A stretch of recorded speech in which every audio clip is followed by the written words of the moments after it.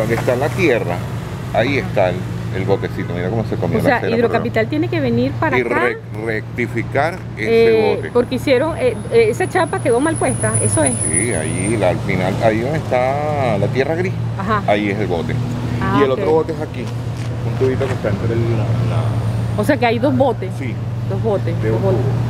Dos botes. Hidrocapital tiene que venir a, reparar esto porque esto quedó dañado. ¿Se acuerdan hace días, hace semanas, el- la gran fuga de gas, la gran cantidad de agua? Bueno, es- está aquí cerca de la estación zoológico y necesita reparación. Esto está afectando a las comunidades de la UD5, UD4, UD3.